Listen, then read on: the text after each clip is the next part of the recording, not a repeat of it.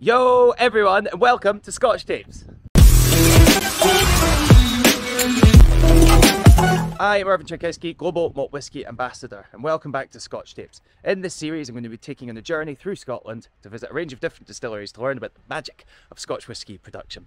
Now, if you missed our first two episodes, you can catch them on Diageo Bar Academy's social channels. Now, today I'm not going to take you one, but two distilleries. We're going to learn about the production process, we're going to recap fermentation that we spoke about last month, and then we're going to take a deep look at distillation in one of Scotland's most interesting stillhouses. I'm going to introduce you to some people and some delicious whiskies on the way. So let's get started. Very excited on our way into the first distillery. And- Hello. oh, look, it's Ewan Gunn. It is. Glo- Global whiskey master Ewan Gunn, nonetheless. What are you doing here? I'm just lurking. It's my natural habitat. Should we go have a look at the distillery Let's together then? Come Okay, awesome.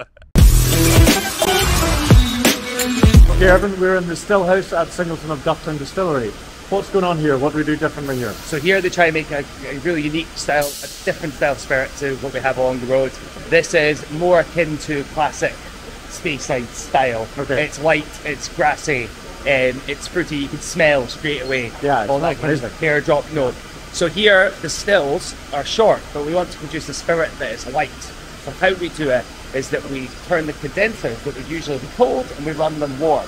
Oh, okay. Essentially turning them into extensions of the still Okay. more copper contact, lighter style of spirit. It's why this room smells the way it does, like kind of teardroppy, Yeah, it's lovely. fresh cut grass note. And this is a standard double distillation. yeah? Double distillation. Okay, and great. this is, is this it's a great example of a distillery that has innovated to create a style of whiskey that they want to do. They don't have the room to put like tall, high, tall No. stills in.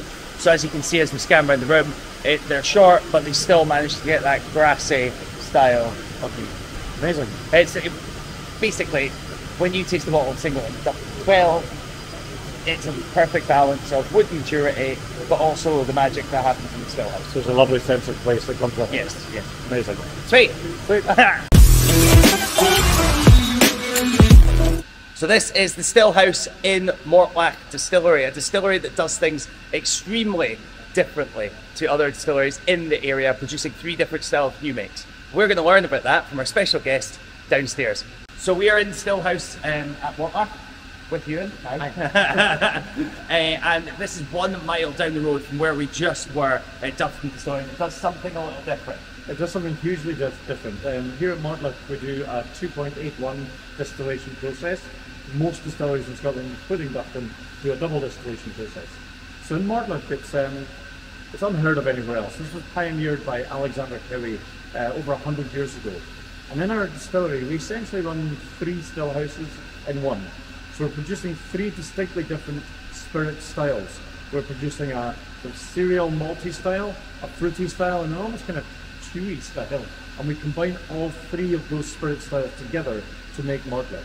It's unique. There's nowhere else in the world makes spirit like this. It's not only not like Speyside, it's not like No. anywhere in Not like anywhere else. and, not. and it's a ludicrously complex It's incredibly complex. When you look at the stills, they're all different shapes and sizes. The way they interact together, there's a standard double distillation, and then there's also a kind of triple H distillation, and then something vaguely akin to a quadruple distillation, maybe. Um, it's incredibly complex, but what it leads to is a unique style of spirit that is not made anywhere else in the world. I think we should taste some. I think we should too. Okay, so you and we are here in the warehouse. Yeah. Um, warehouse four? Sure. Sure. Yeah, warehouse four. more, more, uh, We I do know what's in the glass, so this is Yes. Mortlach's 16 year old, and we're going to have a little nose and taste of this. Now, Mortlach's uh, 16 for me is um, is the epitome of Mortlock. It has that sort of foot in both camps of sweet and savoury. So you're going to get richness, you're going to get bold flavour, almost that sort of umami, kind of earthy, savoury note. But then on the flip side, you're also getting those fresh berries, that really nice, rich, dark fruit flavour. And they just kind of balance each other out really, really well. It's about as bold as you can get, I think, before you take that next step into smoky, Smoky. territory. Yeah, yeah, yeah. Yes, it stops just shy of there. But it's without a doubt the boldest um, spirit in Speyside, for sure. I'm sold. Should we taste? We should. Cheers. Cheers. And you'll notice on the palate, a lot of what we smell on the nose is reflected in the palate, but also think about the texture. It's rich, it fills the palate beautifully. Chewy. Yeah, chewy. You can Yeah. you, you want to Fork chew on and it. knife. Yeah. Yeah, absolutely. And then when you swallow it, it lingers for quite some time. You know, it's got a long, long finish, but not a, not a, a problem at all. I wouldn't say. No, It's- no, it's no. Lovely. Yeah, so hopefully everyone's drinking one at home. So I popped from Speyside all the way down to Glasgow to the Gate, one of my favourite modern whisky bars. I'm going to make for you a simple highball featuring the Singleton 15 years old. Now, first up, we're going to start with that, the start of the show, 50 mils of the Singleton. Then I want you to fill your nice highball glass up to the very tippity top with ice.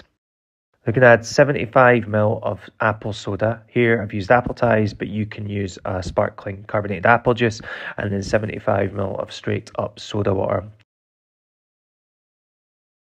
Take your bar spoon straight through, pull the whiskey all the way through it up to the very top, um, just so we're blending all the ingredients together. Last touch, more ice. Always lots of ice. Don't want any gap in the bottom of that highball. There you have it. That is the Stillhouse Soda featuring the Singleton 15 years old. that is all we have time for today. Thank you for everyone for tuning in. I hope you guys have enjoyed it. We'll be back next month. We'll be taking you on the journey to Skye to explore all things Talisker. Uh, I'll be introducing you to some very, very special guests. Uh, our Johnnie Walker Master Blender may make an appearance. Uh, so make sure to have a bottle of Talisker 10 or Johnnie Walker Black Label or whatever it is you want to enjoy while watching the session. See you all then.